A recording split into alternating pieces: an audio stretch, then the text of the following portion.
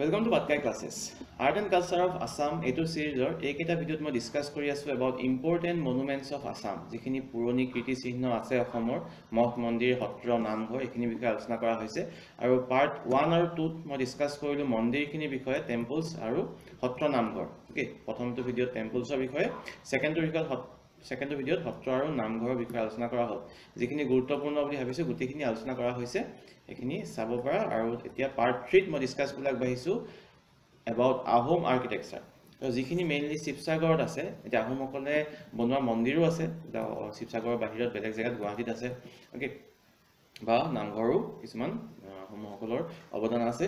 চ' সেইখিনি বিষয়ে আলোচনা কৰা হৈছে অলৰেডি আৰু এইটো ভিডিঅ'ত মই ডিছকাছ কৰিম মেইনলি শিৱসাগৰ শিৱসাগৰত যিখিনি কীৰ্তিচিহ্ন আছে আহোম ৰজাসকলে বনোৱা সেইখিনিৰ ওপৰত ডিছকাছ কৰিম। তাৰমানে আমি ক'বলৈ গ'লে এইটো ভিডিঅ'ত শিৱসাগৰ ভ্ৰমণ কৰিম শিৱসাগৰ ভ্ৰমণ কৰিম এইটো ভিডিঅ'ত ঠিক আছে? আৰু মই একচুৱেলি প্ৰথমতে ভিডিঅ'টো যেতিয়া শ্লাইডখিনি বনাব লৈছিলোঁ তেতিয়া ভাবিছিলোঁ অলপ সৰু হ'ব বুলি বাকীকেইটাতকৈ।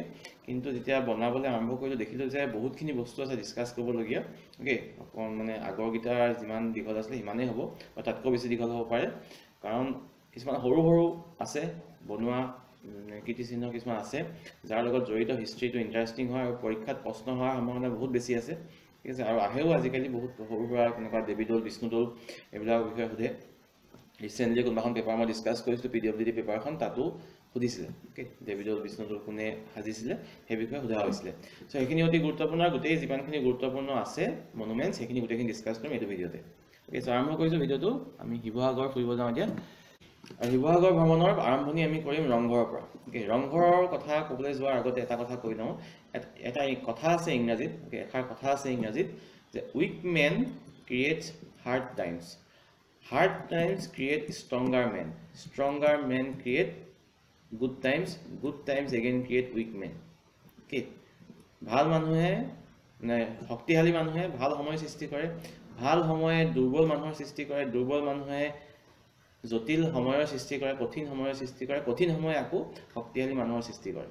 ত' এইষাৰ কথা মই এইটো কাৰণে ক'লোঁ তুমি হিষ্ট্ৰী যি হিষ্ট্ৰীয়ে নপঢ়া লাগিলে অসম হিষ্ট্ৰী হওক ভাৰতৰ বুৰঞ্জী হওক বা ৱৰ্ল্ডৰ হিষ্ট্ৰী হওক এই কথাষাৰ যদি দেখা পোৱা যে এটা মানে ডাঙৰ টাইম পিৰিয়ডত আমি যদি চাওঁ বস্তুটো তেতিয়াহ'লে আমি দেখা পাম যে এনেকুৱা কথাটো এই কথাটো পূৰা খাপ খাই পৰে।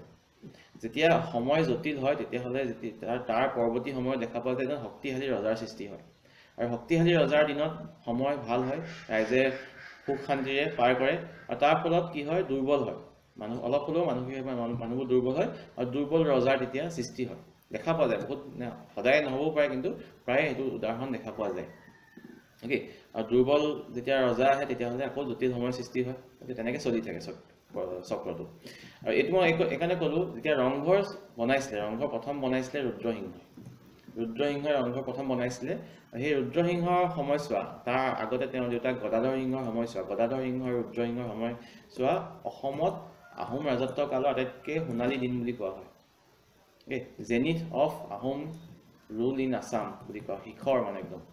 কাৰণ সেই সময়ছোৱাত প্ৰথম কথাটো কোনো ধৰণৰ আক্ৰমণ নাছিলেই আৰু বহুত শক্তিশালী আছিলে। তাত বেলেগে বিদেশৰ পৰা আক্ৰমণ কৰা দূৰৰ কথা। বলকি ৰুদ্ৰসিংহই পৰিকল্পনা কৰিছিলে বেংগলখনো নিজৰ অধীনত অনাৰ। বেংগলত তেতিয়া মোগলৰ অত্যাচাৰ চলিছিলে সেই যিখিনি মানুহ আছিলে তাতে তেতিয়াৰ কোচবিহাৰ সেই অঞ্চলৰ মানুহৰ ওপৰত অত্যাচাৰ চলিছিলে তো সেই মানুহখিনি উদ্ধাৰ কৰিবৰ কাৰণে ৰুদ্ৰসিংহ এটা পৰিকল্পনা লৈছিলে যে এখন যুদ্ধ হৰুৱাই মোগলক হৰুৱাই সেইখনো অসমৰ লগত জড়িত কৰিব বুলি যোগ কৰি দিব বুলি। কিন্তু তেওঁৰ মৃত্যু হোৱাৰ কাৰণেতো সফল নহ'ল অ'কে পাছৰ পাছৰ ৰজাবিলাকে সেই সাহসটো নকৰিলে কিন্তু সেই সময়ত মানে এইটো এটা গম পাব পাৰি যে কিমান শক্তিশালী আছিলে আহোম ৰজাৰ শাসনকাল। অ'কে গদাধৰ সিংহ আৰু ৰুদ্ৰসিংহ সময়ছোৱা আৰু সেই সময়তে সেই সময়তে মই কৈছোঁ ভাল সময় আছিলে আৰু তাতে ৰুদ্ৰসিংহই সাজিছিলে ৰংঘৰ। ৰংঘৰত বহি ৰজাই বা অন্য মানুহৰ আশে পাশে ৰৈ চাইছিলে তাতে ম'হৰ যুঁজ বুলবুলি চৰাই যুঁজ বিহু নৃত্য এনেধৰণৰ সংস্কৃতিবিলাক মানে প্ৰদৰ্শনবিলাক চাইছিলে। ঠিক আছে আৰু যিখন পথাৰত হৈছিলে সেইখন কোৱা হয় ৰূপহী পথাৰ বুলি যিখন ৰংঘৰৰ সন্মুখত পথাৰ আছে সেইখনৰ নাম হৈছে ৰূপহী পথাৰ য'ত এতিয়াও বিহু নৃত্য প্ৰদৰ্শন কৰা হয় বিহুৰ দিনা অ'কে সেইখন পথাৰৰ নাম ৰূপহী পথাৰ আৰু এই যিটো ৰংঘৰ সেইটোক কোৱা হয় oldest amphitheatre of Asia এনেকুৱা মুকলি থিয়েটাৰ মানে মুকলি পথাৰত থকা থিয়েটাৰ আৰু এইটো অল্ডেষ্ট হৈছে এতিয়াও ভাল কণ্ডিশ্যনত থকা আটাইতকৈ oldest amphitheatre of Asia সেইটো হৈছে ৰংঘৰ। এইটো ৰং ঘৰ মানে ৰং উৎসৱৰ ঘৰ। আৰু তাৰ ওপৰত ৰংঘৰটোৰ ওপৰত এটা ইনভাৰ্টেড নাও এখনৰ আকৃতি আছে। ইনভাৰ্টেড নাও এখনৰ আকৃতি আছে। ৰংঘৰটোৰ ওপৰত গৈছে দেখা পাইছে। আৰু সেই সময়ত যেতিয়া বনাইছিলে ৰুদ্ৰসিংহই তেতিয়া এইটো বাঁহ বেতৰ আছিলে। বেম্বো আৰু উড ব্যৱহাৰ কৰি বনোৱা হৈছিলে। তেওঁ যেতিয়া শাসনকাল আছিলে ছিক্সটিন নাইণ্টি ছিক্সৰ পৰা ছেভেণ্টিন ফৰ্টি তেওঁৰ শাসনকালৰ মাজতে এইটো ঘৰ সাজিছিলে কোনোবা এটা সময়ত। ঠিক আছে? কিন্তু পাছত এতিয়া যিটো প্ৰেজেণ্ট ষ্ট্ৰাকচাৰ আছে সেই ষ্ট্ৰাকচাৰটো বনাইছে কোনে? প্ৰমত্ত সিংহই মই আহোম ৰজাৰ নামৰ ট্ৰিক্সটো যিটো ভিডিঅ' আছিলে তাতো ডিছকাছ কৰিছিলোঁ যে প্ৰমত্ত সিংহৰ নামটো আছিলে চুনেনফা চুনেনফা নে permanent. Okay Pramatta Singha permanently তেওঁ ৰংঘৰ বনাইছিলে। ৰংঘৰ তেওঁ বনাইছিলে কিহেৰে বনাইছিলে? তাতে আঠাযুক্ত বস্তুবিলাক ব্যৱহাৰ কৰিছিলে। যেনে বৰা চাউল হাঁহৰ কণী মাটিমাহৰ দাইল বৰালি মাছৰ তেল আৰু সেইবিলাক যোগ কৰি বস্তুখিনি মানে আঠা লগাইছিলে অ'কে আঠা লগাই সেইখিনি ব্যৱহাৰ কৰি ঘৰটো সাজিছিলে। আৰু তাৰ ওপৰত এটা চূণৰ প্ৰলেপ আছিলে সেইটো ইনচুলেশ্যনৰ কাম কৰে ঘৰটো ঠাণ্ডা কৰি ৰাখে। চ' সেইখিনি ব্যৱহাৰ কৰি ৰংঘৰটো পাছত বনোৱা হৈছিলে around seventeen forty six seventeen forty six by Pramatta Singha. কিন্তু আৰম্ভণি বনাইছিলে কোনে প্ৰথমতে? সেইটো হৈছিলে ৰুদ্ৰসিংহ। ঠিক আছে? চ' পৰীক্ষাত যদি সোধে প্ৰথমতে কোনে বনাইছিলে ৰুদ্ৰসিংহ? আৰু বৰ্তমান যিটো ষ্ট্ৰাকচাৰ সেইটো কোনে বনোৱা সেইটো হৈছে প্ৰমত্ত সিংহ যদি সোধে ৰংঘৰ কোনে বনাইছিলে অপশ্যন যদি এই দুজনৰ নাম কোনোবা এজনৰ নাম থাকে সেইটো শুদ্ধ উত্তৰ হ'ব এই দুজনৰ নাম থাকে তেতিয়াহ'লে প্ৰমত্ত সিংহ নামটো দিব পৰা কাৰণ বৰ্তমানৰ ষ্ট্ৰাকচাৰটো তেওঁ বনাইছে অ'কে চ' সেইটো তেনেকৈ এনচাৰ হ'ব আৰু তাতে আহোম ড্ৰেগন যিটো চিম্বল চিম্বল থাকে সেইটো প্ৰেজেণ্ট আছে অ'কে আৰু লগতে ৰংঘৰটো সংৰক্ষণ কৰাৰ প্ৰয়োজন আছিলে কাৰণ বহুত ক্ৰেক পৰিছে সময়ৰ প্ৰকোপত ভূমিকম্প হৈ থাকে মাজে সময়ে আমাৰ এইফালে। আৰু লগতে যিটো চেচমিক ছাৰ্ভে হয় যিবিলাক অইল কোম্পেনী আছে বিশেষকৈ অ' এন জি চি শিৱসাগৰত অ' এন জি চি আছে। So' O' N G C seismic survey কাৰণেও অলপমান ডেমেজ হোৱা বুলি নিউজত পঢ়িবলৈ পোৱা যায়। ঠিক আছে নিউজত পঢ়িবলৈ পোৱা যায় তেনেকৈ। সেইটো কাৰণে সংৰক্ষণৰ দৰকাৰ আছিলে আৰু সেই উদ্দেশ্যে এই যোৱা বছৰে যোৱা বছৰ এপ্ৰিলৰ চৈধ্য তাৰিখে প্ৰাইম মিনিষ্টাৰ নৰেন্দ্ৰ মোদীয়ে এটা ফাউণ্ডেশ্যন ষ্ট'ন লে কৰিছে এটা বিউটিফিকেশ্যন প্ৰজেক্ট ৰংঘৰৰ সৌন্দৰ্য সৌন্দৰ্য বৃদ্ধি প্ৰজেক্ট এটাৰ ওপৰত হেৰি কৰিব ইনভেষ্ট কৰিব ওৱান ফৰ্টি কৰোৰ ৰুপিজ ৰংঘৰৰ উত্তৰ পশ্চিম ছাইডে নৰ্থ ৱেষ্ট ছাইডে ছাব্বিছ একৰ মাটিত তাত হ'ব এখন গাঁও। গাঁওখন কি হ'ব? শিল্প শিল্পৰ গাঁও। শিল্পগ্ৰাম যিবিলাক থাকে বাহিৰত তেনেকুৱা কনচেপ্ট আছে। ৰাজস্থানৰ ফালে গ'লে দেখা পাবা। শিল্প শিল্পগ্ৰাম বুলি এনেকুৱা এটা কনচেপ্ট থাকে য'ত তেনেকুৱা ধৰণৰ কিবা কীৰ্তিচিহ্ন আছে তাৰ আশে পাশে এখন গাঁও বনোৱা হয়।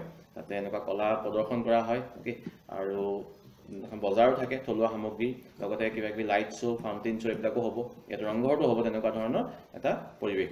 যাৰ ফলত মানে পৰ্যটকৰ আকৰ্ষণ বাঢ়িব পৰ্যটক বাঢ়িব আৰু অলপমান মানে ৰংঘৰটো তেতিয়া আৰু আগতকৈও মানে পৃথিৱীৰ মানুহে গম পাব আৰু গোটেই ৱৰ্ল্ডৰ মানুহে গম পাব ৰংঘৰৰ বিষয়ে ঠিক আছে নাও বোট হাউচ থাকিব আৰ্টিচিয়ান ভিলেজ ভিলেজ থাকিব মাৰ্কেট থাকিব থলুৱা সামগ্ৰী অ'কে আৰু ফাউণ্টেইন শ্ব' হ'ব লাইট শ্ব' হ'ব etcetera that will be on the north west side on twenty six acres of land এইটো কেতিয়া ফাউণ্ডেশ্যন ষ্ট'ন বুলি কৈছে এইটো ইম্পৰ্টেণ্ট এপ্ৰিলৰ চৈধ্য তাৰিখে বিহুৰ দিনাখন বিহুৰ সময়ত দুহেজাৰ তেইছ চনত নৰেন্দ্ৰ মোদীয়ে এইটো কাম কৰিছিলে বাকী ৰংঘৰৰ আকৃতিটো ৰংঘৰৰ যিটো মডেল চিত্ৰ সেইটো বহুত জেগাত ব্যৱহাৰ কৰা হয়।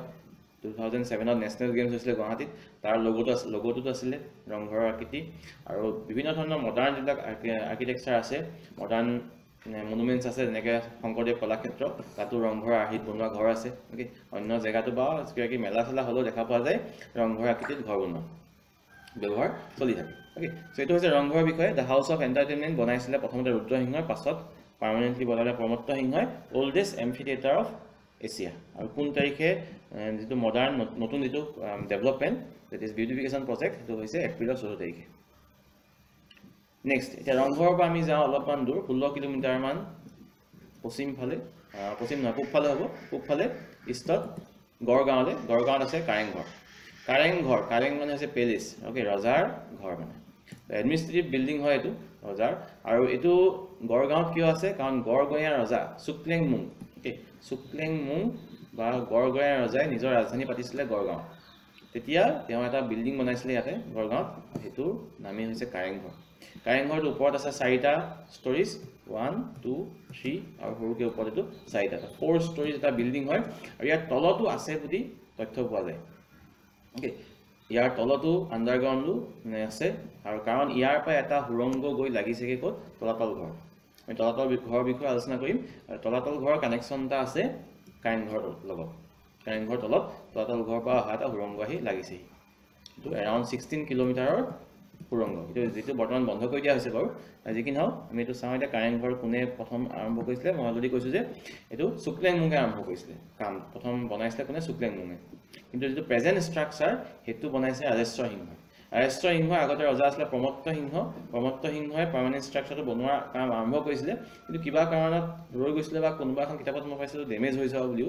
অ'কে ফিফটি ওৱানতো ডেমেজ হৈছিলে প্ৰমত্ত সিংহই বনোৱা কাৰেংঘৰটো পাছত ৰাজেশ্বৰ সিংহই এতিয়া যিটো প্ৰেজেণ্ট আছে যিটো দেখা পাওঁ এতিয়া সেইটো বনালে। In seventeen fifty two so' কোনে বনালে বুলি সুধিলে যদি অকল সোধে কোনে বনাইছে বুলি তেতিয়া ৰাজেশ্বৰ সিংহৰ নামটো আহিব। কোনে প্ৰথম কোনে বনাইছিলে বুলি সোধে তেতিয়াহ'লে শুক্লেংমুং আহিব। অ'কে শুক্লেংমুঙৰ নামটো আমি উল্লেখ কৰিব লাগিব। তেওঁ গড়গাঁৱত ৰাজধানী পাতিছিলে। তেওঁক সেইকাৰণে গড়গঞা ৰজা বুলি কোৱা হয় আৰু সেইকাৰণে কাৰেংঘৰটোকো গড়গাঁও পেলেচ বুলি কোৱা হয়। Very important facts related to Kareng Ghar এইটো এটা এডমিনিষ্ট্ৰেটিভ বিল্ডিং আছিলে। চেণ্ট্ৰেল এডমিনিষ্ট্ৰেটিভ বিল্ডিং আছিলে আৰু তলাতল ঘৰৰ লগত তাৰ কানেকশ্যন এটা আছে অলৰেডি মই কৈছোঁ এটা যিটো বৰ্তমান বন্ধ কৰি দিয়া হৈছে যিটো বৰ্তমান বন্ধ কৰি দিয়া হৈছে অ'কে আৰু চাৰিখন এণ্ট্ৰেঞ্চ গেট আছে কাৰেংঘৰৰ প্ৰতিখনকে সিংহদ্বাৰ বুলি কোৱা হয় বা লায়ন গেট বুলি আমি ক'ব পাৰোঁ ইংৰাজীত সিংহদ্বাৰ আছে চাৰিখন আছে।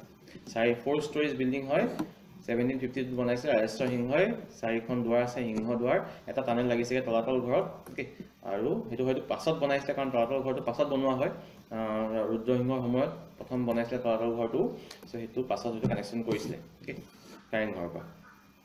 আৰু এই বিষয়ে এজন পৰ্যটক আহিছিলে চিহাবুদ্দিন তালিচ কাৰ লগত আহিছিলে মিৰ্জুমলা মিৰ্জুমলাই অসম আক্ৰমণ কৰিছিলে এৰাউণ্ড ছিক্সটিন ছিক্সটি টু তাৰমানে যেতিয়া শুক্লেমুঙে যিটো ঘৰ বনাইছিলে সেই ঘৰটোৰ বিষয়ে চিহাবুদ্দিন তালিচে এটা বৰ্ণনা কৰিছিলে যে এই ঘৰটো যিটো তেতিয়া কোৱা হৈছিলে হুলং ঘৰ বুলি। হুলং ঘৰ বুলি তেতিয়া কোৱা হৈছিলে হয়তো হুলং বা কি গছ যিটো আমাৰ ষ্টেট ট্ৰি এইটো হুলুং বুলি কোৱা হয়। হয়তো হুলুং গছ ব্যৱহাৰ কৰিছিলে বনাওঁতে হ'ব পাৰে মই অনুমানহে কৰিছোঁ তেনে সেইকাৰণে হুলং ঘৰ বুলি কোৱা হ'ব পাৰে। কিন্তু সেইটো বিষয়ে তেওঁ কৈছিলে চিহাবুদ্দিন তালিছে যাৰ সম্পূৰ্ণ নাম আছিলে মহম্মদ ৱালি আহমেদ। আৰু তেওঁ কৈছিলে যে ঘৰটো এশ বিছ হাত দীঘল ত্ৰিছ হাত বহল আৰু ছিক্সটি ছিক্সটা খুটা আছে। অ'কে? এই বিষয়ে কৈছিলে কোনে? চিহাবুদ্দিন তালিচ তেওঁ কাৰ লগত আহিছিলে? মিৰ জুমলা মিৰ জুমলাই অসম আক্ৰমণ কৰিছিলে ষোল্লশ বাষষ্ঠি খ্ৰীষ্টাব্দত। ঠিক আছে? চ' এইখিনি হৈছে ইম্পৰ্টেণ্ট কাৰেংঘৰৰ বিষয়ে। আৰু লগতে কাৰেংঘৰৰ লগত এটা গোলাঘৰো আছে। আমি গ'লে দেখা পাবা এতিয়াও যে গোলাঘৰত মানে অস্ত্ৰ শস্ত্ৰ থোৱা ঘৰ এটা আছে যিটো হয়তো পাছত বনোৱা হৈছিলে কাৰণ যিটো তলাতল ঘৰৰ যিটো গোলাঘৰ তাতো এটা গোলাঘৰ আছে। সেইটো চক্ৰধ্বজ সিংহই বনাইছিলে। অ'কে সেইটো হয়তো পাছত বনোৱা হৈছিলে কিন্তু সেইটো এটা এনেকুৱা এটা ঘৰ আছে য'ত অস্ত্ৰ শস্ত্ৰ থোৱা হৈছিলে। আৰু এতিয়াও হয়তো আছে। এতিয়াও মই কেইবছৰমান আগতে তাৰমানে দেখিছিলোঁ। টোপ থোৱা আছিলে। চ' সেই ঘৰটো তাত আছে গোলাঘৰ বুলি কোৱা হয় নহ'লে খাৰ ঘৰ বুলিও কোৱা হয়। খাৰ ঘৰ নহ'লে গোলাঘৰ বুলি কোৱা হয়। সেইটো হৈছে কাৰেংঘৰৰ বিষয়ে। কোনে বনাইছিলে আৰম্ভণি কোনে কৰিছিলে আহ, গড়গঞা ৰজাই গড়গঞা পেলেচ বুলি কোনটোক কোৱা হয় হুলুং ঘৰ বুলি কোনটো ঘৰক কোৱা হয় অ'কে আৰু ৰাজেশ্বৰ সিংহই কোন চনত বনাইছিলে seventeen fifty two all facts are very important Shihabuddin Talish কাৰ লগত আহিছিলে? সেইটো এটা ইম্পৰ্টেণ্ট ফেক্ট ইন হিয়েৰ টানেলটো আছে তলাতল ঘৰৰ connection sixteen kilometre sixteen kilometre দৈৰ্ঘ্যৰ এটা টানেল আছে। তলত সেইটো বন্ধ কৰি দিয়া হৈছে বাৰু মানুহ চানুহ সোমাই যায় কেতিয়াবা হেৰাই যাব পাৰে বা আগতে হেৰাইছিলেও হয়তো। এতিয়া আমি তলাতল ঘৰলৈ।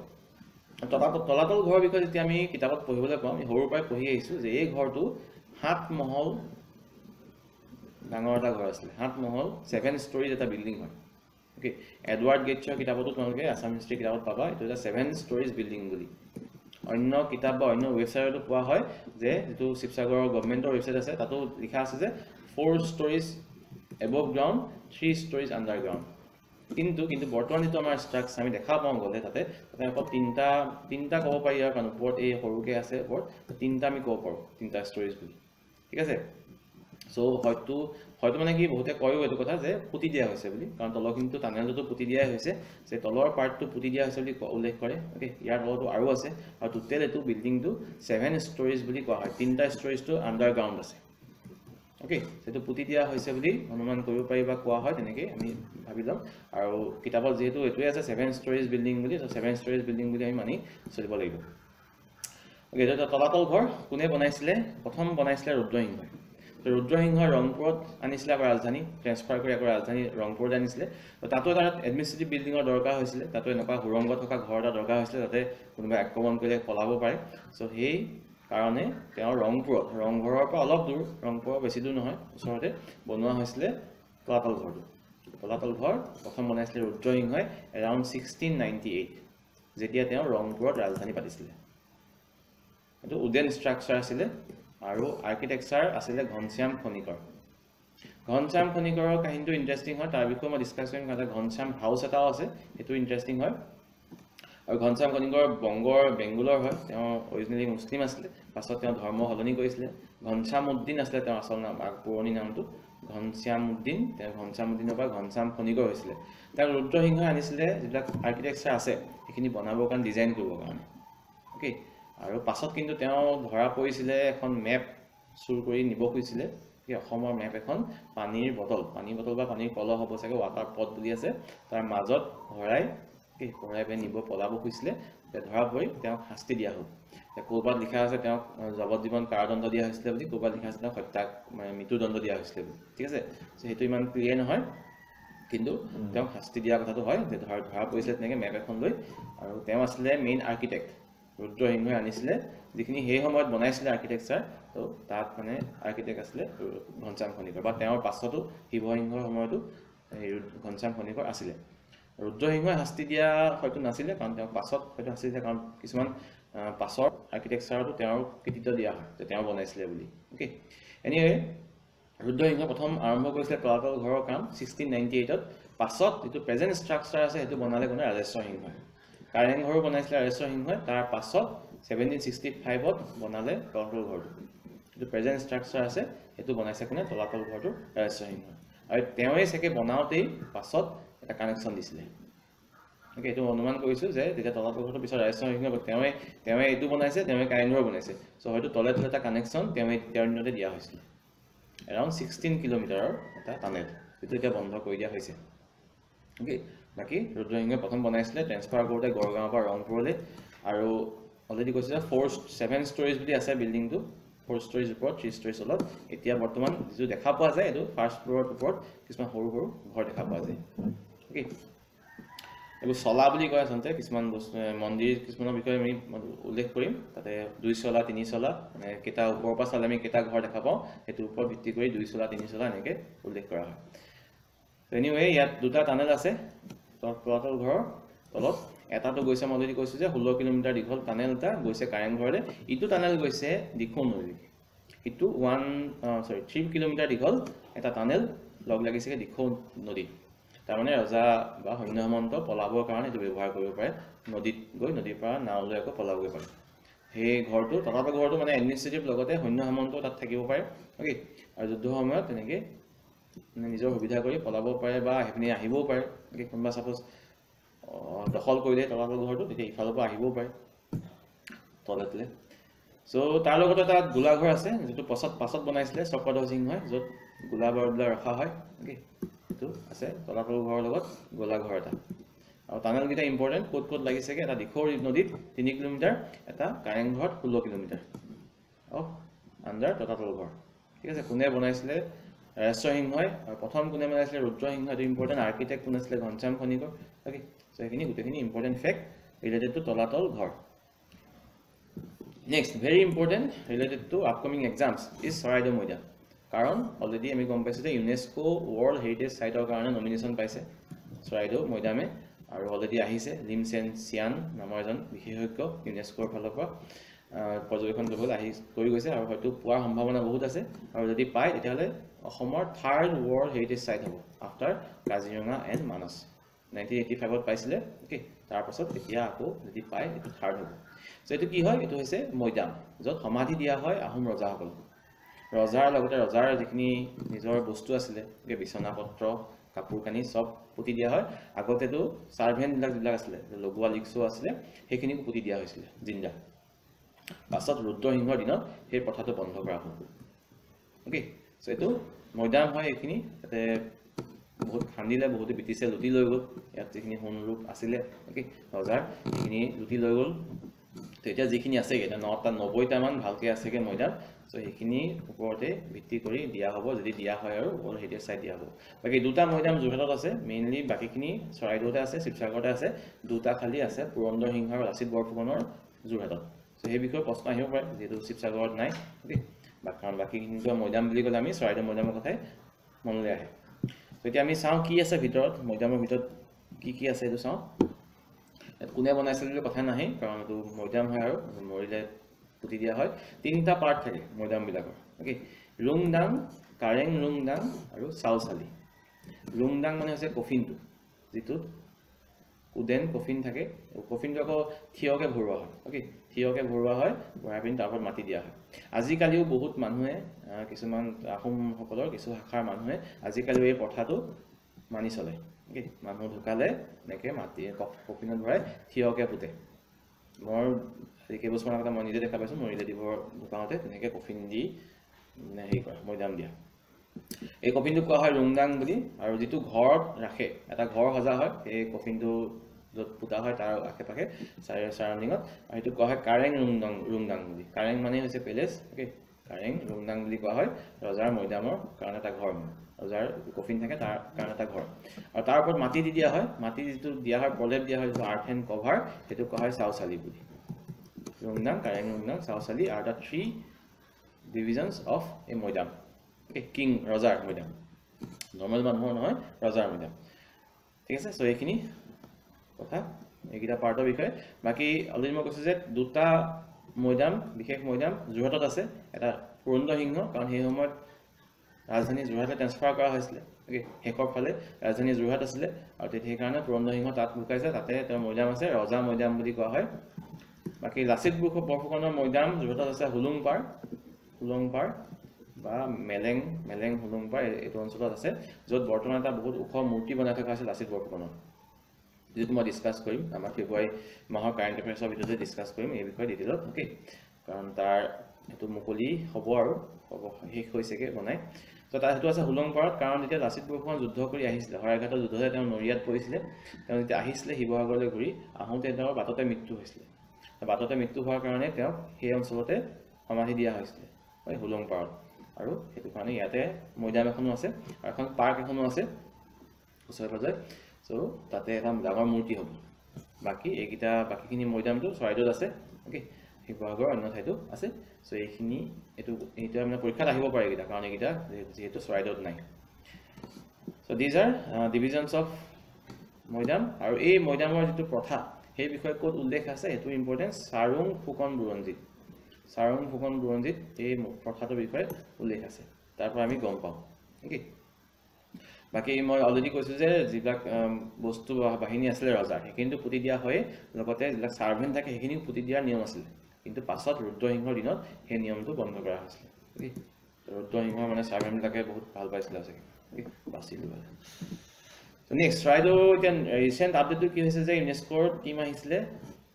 তাৰ মেইন যোন এক্সপাৰ্ট নাম আছে তেওঁৰ নাম আছে লিম চেন চিয়ান। দুহেজাৰ তেইছ চনৰ অক্টোবৰ সাত তাৰিখে আহি ইনস্পেকশ্যন কৰি গ'লহি। আৰু তেওঁ মানে কোনটো ডিভিজন আহে ইউনেস্কোৰ কোনটো ডিভিজনে এইবিলাক চায় সেইটো হৈছে International Council on Monuments and site ICOMOS year full ফৰ্মটো সুধি দিব পাৰে অ'কে আই কচমছৰ ফুল ফৰ্ম হৈছে International Council on Monuments and Sites তাৰ এক্সপাৰ্ট হৈছে লিম চেন চিয়ান আহিছিলে অক্টোবৰ সাত তাৰিখে দুহেজাৰ তেইছ চনত।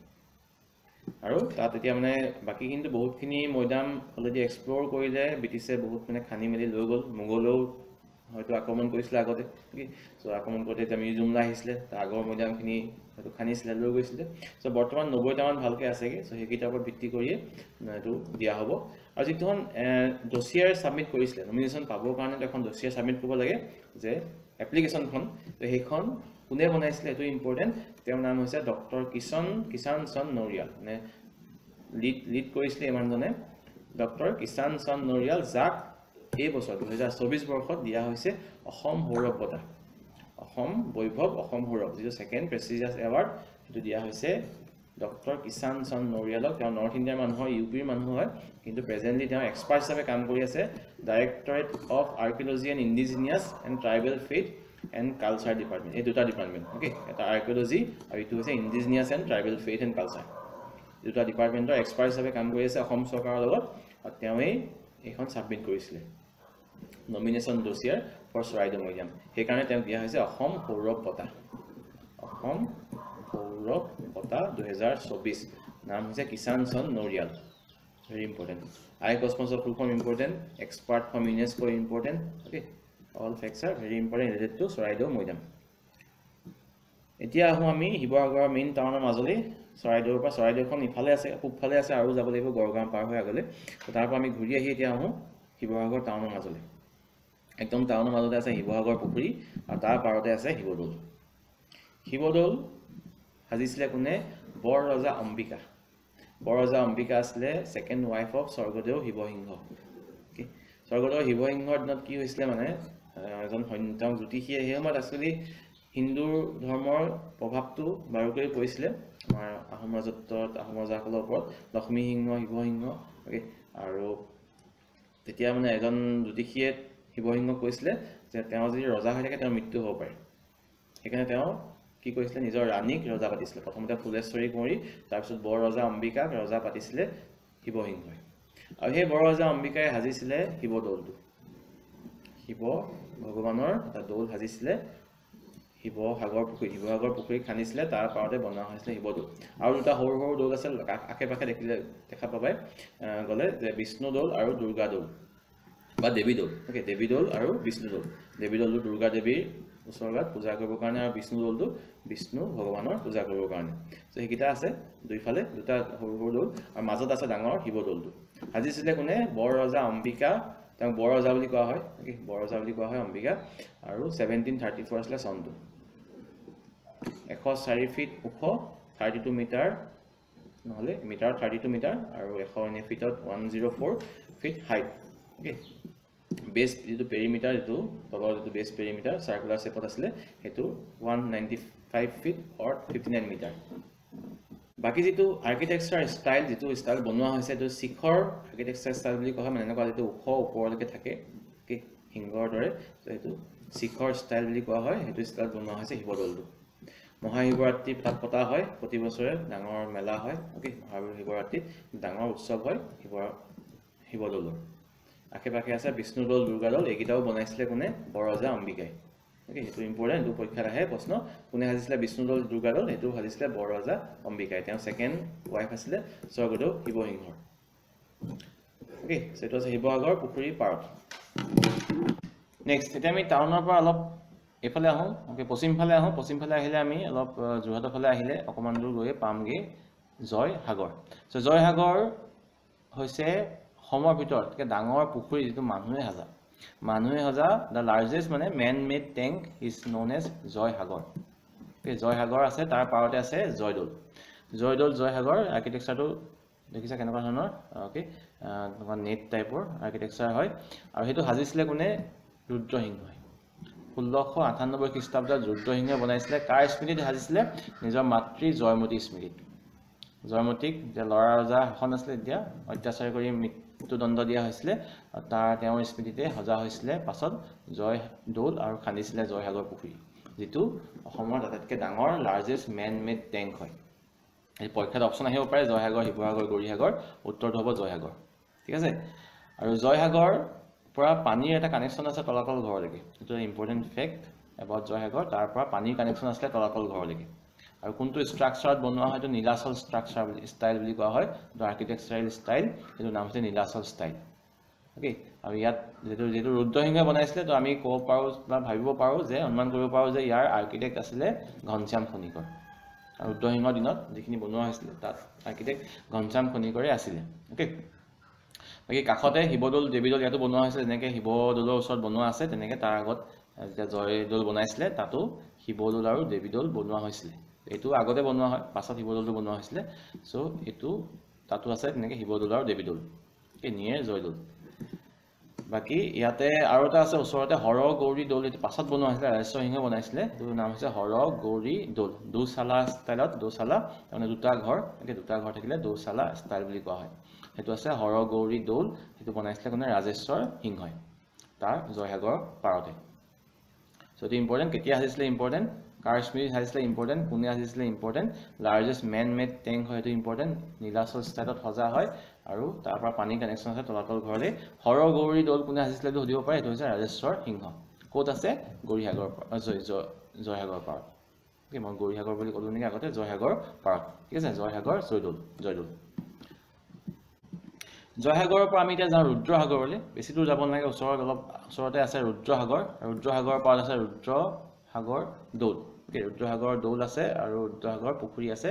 সাজিছিলে কোনে লক্ষ্মীসিংহই ৰুদ্ৰসিংহৰ পুতেক লক্ষ্মীসিংহই ৰুদ্ৰসিংহৰ চাৰিজন পুতেক ৰজা হৈছিলে লক্ষ্মীসিংহ শিৱসিংহ অ'কে প্ৰমত্ত সিংহ ৰাজেশ্বৰ সিংহ। সেই তাৰে লক্ষ্মীসিংহই সাজিছিলে ৰুদ্ৰসাগৰ টেংক আৰু পুখুৰী in memory of his father Rudrasingha in seventeen seventy three. যিটো পাছত সজা হৈছিলে আটাইতকৈ নতুন ৰিচেণ্ট হৈছিলে সেইটো কাৰণে এইটোক ন পুখুৰী বুলি কোৱা হয়। আৰু যিটো টেম্পুল সেইটো last temple constructed in Ahom era. Seventeen seventy three okay eighteen twenty মানৰ পৰাতো মানুহৰ আক্ৰমণ আৰম্ভ হৈছিলেই তাৰপিছৰ পৰাতো আৰু লগতে সেই সময়ছোৱাত মানে লক্ষ্মীসিংহৰ দিনতে এইটো মোৱামৰীয়া বিদ্ৰোহ আৰম্ভ হৈছিলে। আহোম ৰাজত্বৰ পতন মানে এতিয়াৰ পৰা আৰম্ভ হৈছিলে বুলি ক'ব পাৰি। মানুহৰ আক্ৰমণৰ ফলত আহোমৰ মানে শাসন সম্পূৰ্ণৰূপে নাইকিয়া হৈছিলে অসমৰ পৰা। কিন্তু পতনটো আৰম্ভ হৈছিলে লক্ষ্মীসিংহৰ দিনৰ পৰাই। এই লক্ষ্মীসিংহৰ দিনৰ পৰাই যেতিয়া মোৱামৰীয়া বিদ্ৰোহ হৈছিলে তেতিয়াৰ পৰাই আৰম্ভ হৈছিলে আহোম ৰাজত্বকালৰ পতন। আৰু তাৰ আগতেই মানে বনোৱা হৈছিলে ৰুদ্ৰসাগৰ দৌল আৰু সেইটোৱে হৈছে last temple constructed under Ahom rule তাৰ কোনে ছুপাৰভাইজ কৰিছিলে? মদন দৰিকা হাজৰিকা।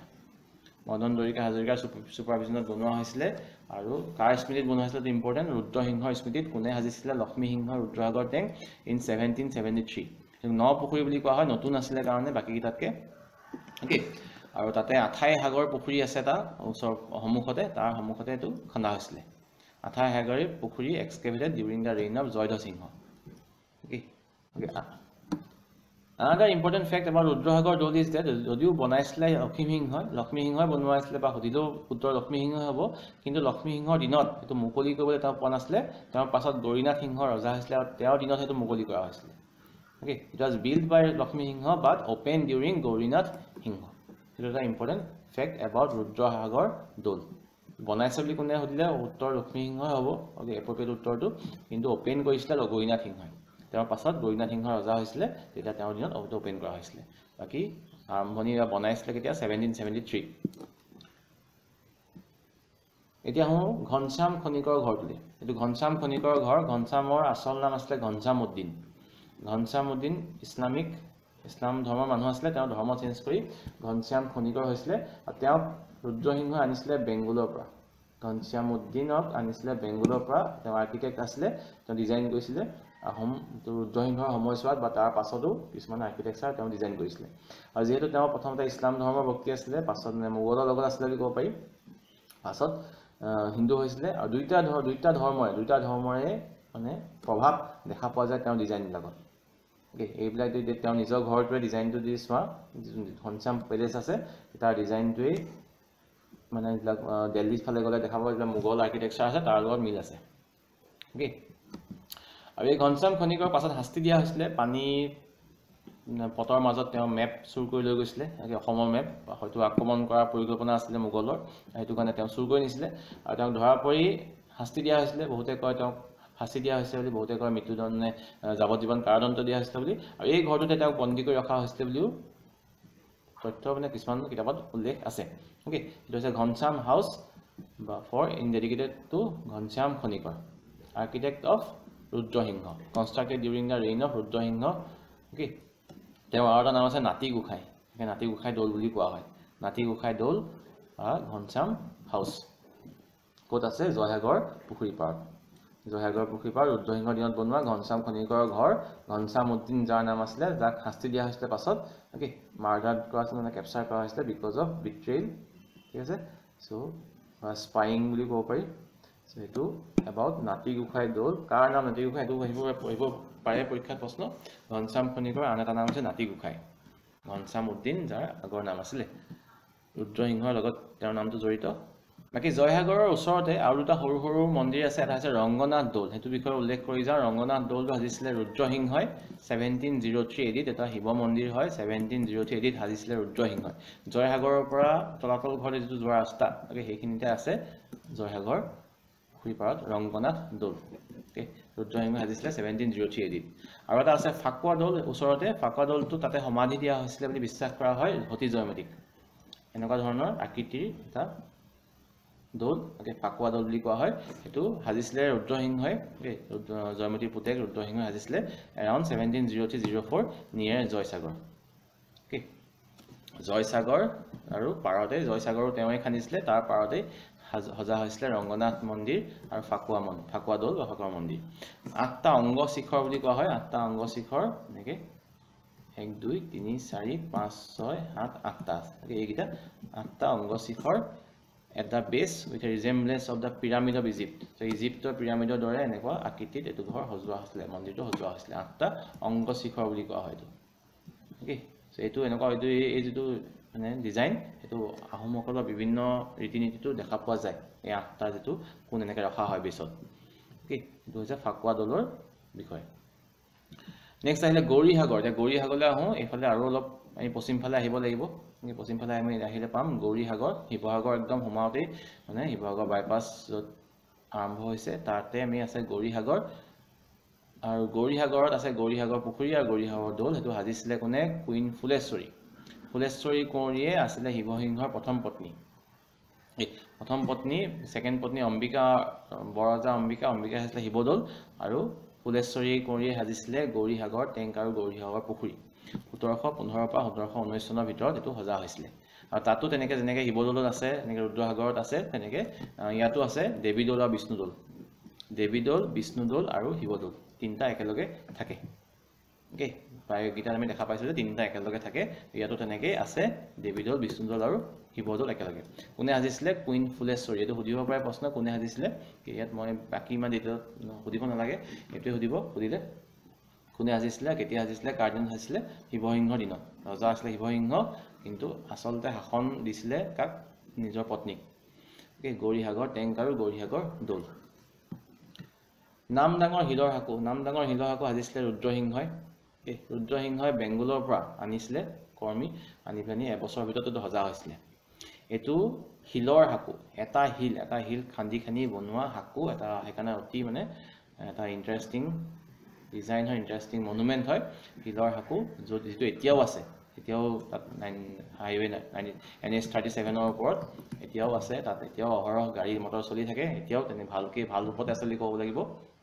এইটো এটা মানে আৰ্কিটেকচাৰ মাৰ্ভেল বুলি ক'ব লাগিব অ'কে আৰ্ক টাইপ ডিজাইন হয় ষাঠি মিটাৰ দীঘল ছিক্স পইণ্ট ফাইভ মিটাৰ বহল ৰুদ্ৰসিংহৰ দিনত সজা সোতৰশ তিনি খ্ৰীষ্টাব্দত অ'কে বেংগলৰ পৰা বৰকাৰ নিচিনা সাজিছিলে আৰু যিখন উপনৈৰ ওপৰত আছে যিখন সৰু নৈৰ ওপৰত আছে এখন দিখৌ নৈ এখন উপনৈ হয় নাম হৈছে নামদাং। নামদাং কোন নদীৰ উপনৈ এইটো আহিব পাৰে দিখৌ নৈ। এনেই ব্ৰহ্মপুত্ৰৰ হ'ব কাৰণ দিখৌখন আল্টিমেটলি ব্ৰহ্মপুত্ৰৰে হয় কিন্তু ইমিডিয়েট যিখন পেৰেণ্ট ৰিভাৰ সেইখন হৈছে দিখৌ ৰিভাৰ অ'কে দিখৌ ৰিভাৰৰ উপনৈ হৈছে নামদাং। নামদাঙৰ ওপৰত আছে শিলৰ সাঁকো made of one single stone ছটা কালভাৰ্ট আছে এনেকুৱা। পানী আহিব পাৰে। অহা কৰিব পাৰে ইয়াত বহুত কেইবি ডিজাইনো আছে। কেইবি ডিজাইনো অঁকা আছে ইয়াৰ ওপৰত। এইবিলাক লৈ আছে নামদাঙৰ শিলৰ সাঁকো। নেক্সট হ'লে থাওৰা দৌল থাওৰা দৌল আমি পূবলৈ যাব লাগিব আকৌ। ডিব্ৰুগড় ফালে গ'লে আমি পাওঁ বাটতে। হাইৱেৰ কাষতে আছে থাওৰা দৌল অ'কে নেশ্যনেল হাইৱেৰ কাষত আমি দেখা পাওঁ থাওৰা দৌল থাওৰা মানে তাত শব্দটো এটা অৰ্থ আছে। থাও মানে হৈছে ঘোঁৰা। ঘোঁৰাৰ শাৰী ঘোঁৰাৰ লাইনক কোৱা হয় থাও বুলি। আৰু ৰ মানে হৈছে চুতীয়া মানুহসকলক ৰ বুলি কোৱা হয়। সেই মানুহসকল এক্সপাৰ্ট আছিলে সোণ ৰূপৰ কামত সেইকাৰণে তেওঁলোকক তাতে ৰখা সেইটো ঘৰত জেগাত তেওঁলোক আছিলে অ'কে তেওঁলোকৰ নামতে উৎসৰ্গা কৰি এটা মন্দিৰ সজা তেওঁলোকৰ কাৰণে এটা মন্দিৰ সজা হৈছে বুলি ক'ব পাৰি। এইটো নাম হৈছে থাওৰা দৌল। ৰ অফ হৰ্চেছ ৰ মানে চুতীয়া লোকসকল অ'কে এইটো কোনে সাজিছিলে? আলম আলন বুঢ়া দিহিঙীয়া বৰবৰুৱা। তেওঁ সাজিছিলে Thaora Doul around sixteen eighty three eighty five sixteen eighty three বা এইটি ফাইভৰ ভিতৰত তেওঁ সজা হৈছিলে। সেই সময়ত ৰজা আছিলে কোন? গদাধৰ সিংহ। চ' কোন ৰজাৰ দিনত সজা হৈছিলে বুলি প্ৰশ্ন আহিব পাৰে সেইটো হৈছে গদাধৰ সিংহ থাওৰা দৌল। কাৰ কোন জনজাতিৰ লগত জড়িত? চুতীয়া লোকসকলৰ লগত জড়িত থাওৰা দৌলটো। চাৰ চলা টাইপ মানে চাৰিটা ঘৰ আছে এনেকৈ চাৰিটা ঘৰ টাইপত বনোৱা হৈছে এইটো সেইটো চাৰ চলা টাইপ বুলি কোৱা হয়। টেংকো খন্দা হৈছিলে সেইটো one of the earliest excavated tank in Ahom road তাৰ কাষত যিটো পুখুৰী আছে সেইটো মানে একদম প্ৰথম খন্দা পুখুৰীবিলাকৰ ভিতৰত এটা। অ'কে? হাওৰা দৌলৰ কাষত যিটো পুখুৰী আছে। তাৰপিছত আহিলে ইণ্টাৰেষ্টিং এইটো আছিলে মনুমেণ্ট নহয় কিন্তু উল্লেখ কৰিব লাগিব এইখিনি মই যিহেতু পালোঁ শিৱসাগৰৰ আপুনি ৱেবছাইট চাওঁতে তাতে আছিলে কিছুমান ইণ্টাৰেষ্টিং জেগা ভিজিট কৰিব পাৰে। আৰু এইটো মই ভাবোঁ পৰীক্ষাটো আহিব পাৰে প্ৰশ্ন ইয়াৰ ওপৰত সেইকাৰণে উল্লেখ কৰিলোঁ বাঁহৰ বেঙেনা গছ।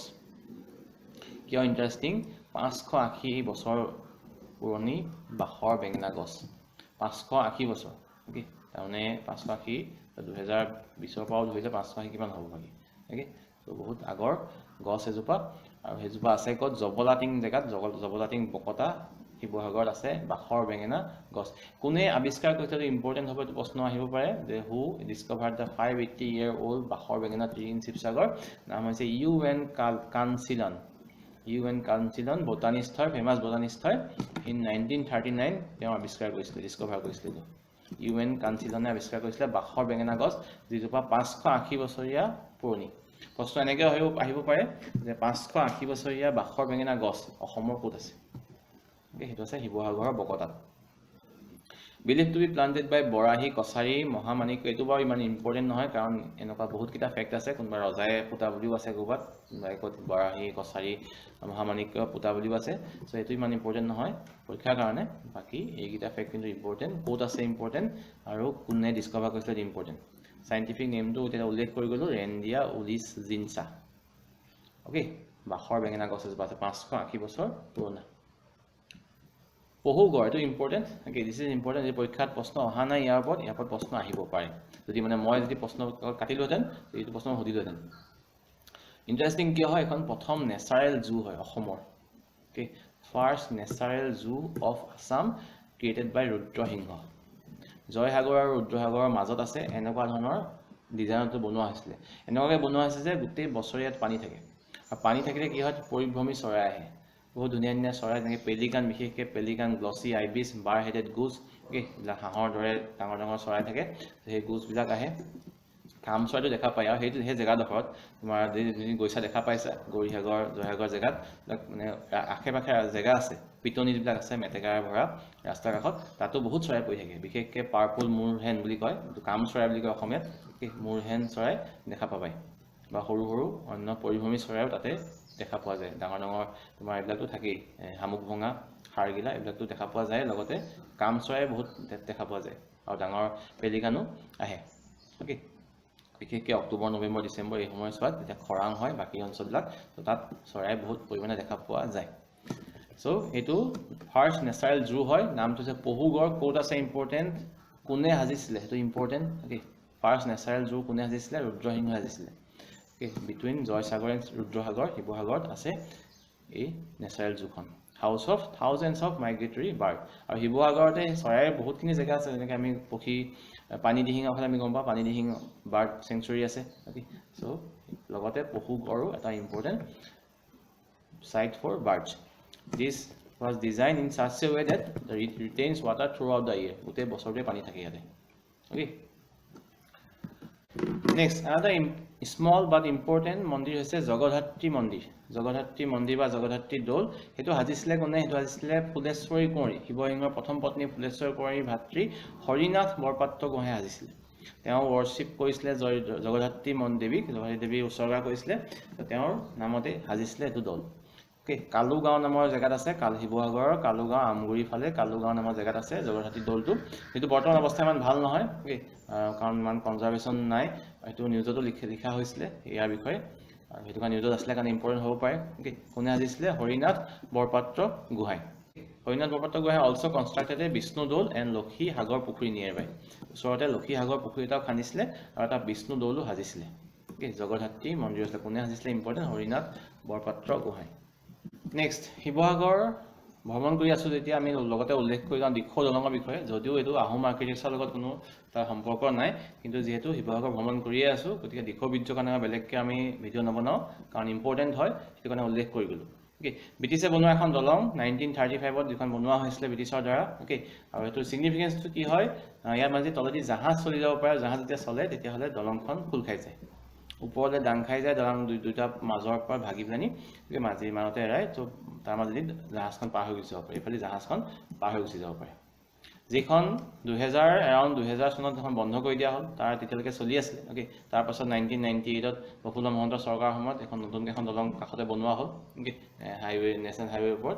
ত' সেইটো কাৰণে এতিয়া এখন দলং তেনেকেই পৰি আছে আৰু এতিয়া অলপ বেয়া অৱস্থালৈ গৈছেগৈ মামৰ চমৰে ধৰিছে। আৰু এইখন যদি সংৰক্ষিত কৰা হয় পুনৰ চলাব পৰা হয় তেতিয়াহ'লে এখন ৱৰ্ল্ড হেৰিটেজ ছাইট হোৱাৰ সম্ভাৱনা আছে। সেইটো স্বয়ং মানে আই কস্ম যিটো মই অলৰেডি কৈছোঁ তাৰ মানুহেই কৈছে এইটো কথা।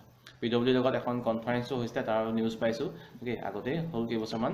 তেতিয়া আলোচনা কৰা হৈছিলে এইখন যদি সংৰক্ষণ কৰিব পৰা যায় তেতিয়াহ'লে এইখনো এখন ৱৰ্ল্ড হেৰিটেজ ছাইট হ'ব পাৰে এইটো এই জেগাডোখৰ অ'কে কেতিয়া সজা আছিলে নাইনটিন থাৰ্টি ফাইভত পাছত নতুন দলং সজা হ'ল ব্ৰিটিছৰ সময়ত এখন সজা হৈছিলে সেই সময়ত মানে বহুত যাতায়াত চলিছিলে পানীৰ মাজেদি বিশেষকৈ অসমৰ পৰা বস্তু কলিকতাৰ ফালে নিছিলে। Okay one fifty nine metre দীঘল দলং হয় one fifty nine metre long okay আৰু four point eight eight metre বহল দীঘলটো important one fifty nine metre দীঘল এখন দলং হয়। বহুত ব্ৰিটিছৰ ইঞ্জিনিয়াৰ আছিলে অসমৰ এজন ইঞ্জিনিয়াৰো আছিলে জড়িত হৰিপ্ৰসাদ বৰুৱা নামৰ। হৰিপ্ৰসাদ বৰুৱা নামৰ এজন ইঞ্জিনিয়াৰ অসমৰো জড়িত আছিলে এইখনৰ কনষ্ট্ৰাকশ্যনত okay so' these are important facts about Dikhow bridge which is our last topic of this video' আৰু এইখিনি মই যিখিনি ডিছকাছ কৰিলোঁ আহোম আৰ্কিটেকচাৰ ইন শিৱসাগৰ এইখিনি মই ভাবোঁ গুৰুত্বপূৰ্ণ ইয়াৰ পৰাই পৰীক্ষাত প্ৰশ্ন আহিব পাৰে বা ইয়াৰ লগত জড়িত প্ৰশ্ন আহিব পাৰে তাৰ বাহিৰত পঢ়াৰ সম্ভাৱনা কম আছে so' hope this will help year P D এফটো মই আমাৰ পাটকাই নোটছৰ গ্ৰুপত শ্বেয়াৰ কৰিম ঠিক আছে থেংক ইউ ভেৰি মাছ